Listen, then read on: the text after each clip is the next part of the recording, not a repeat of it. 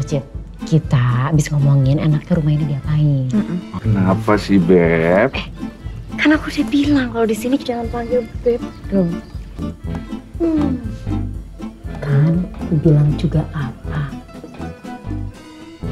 Tuh, Makanya kalian cepet-cepet deh ke pelaminan. Aduh, alay. Udah deh, nggak usah sok-sok analisa keteknya bidadari.